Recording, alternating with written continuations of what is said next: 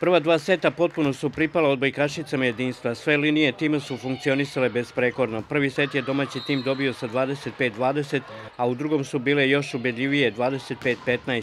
I kada se očekivalo da u istom ritmu nastave i u trećem setu i lagano utakmicu privedu kraju, desio se pad u igri jedinstva.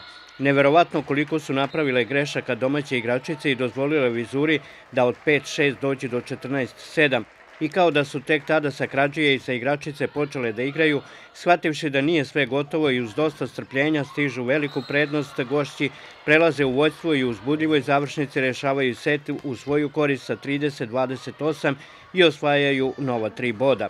Velika je ova pobeda za nas time što smatram da će nas učvrsti na prvo mesto i da smo se odmakli malo ekipama koje su bile u pratnji ispod nas, ekipi Vizure i ekipi Tenta iz Obrenovca.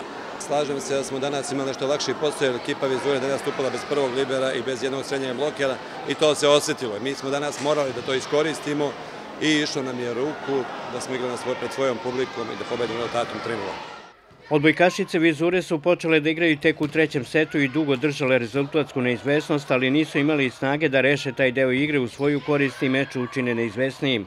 Opravdanje za nešto slabije izdanje u Staroj Pazovi imaju u činjenici da nisu bile kompletne, ali treba reći da ih je jedinstvo u tri meča ove sezone isto toliko puta i pobedilo.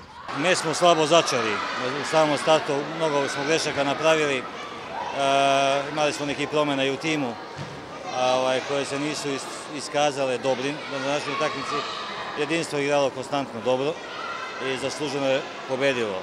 Tokom igre smo mi se vratili u igri, ali pravim, sa toliko grešaka ne može bolji rezultat da bude. Jedinstvo će u narednom kolu već u subotu igrati protiv Dinama u Pančevu, a Vizura će na Novom Beogradu dočekati MD Zrenjanin.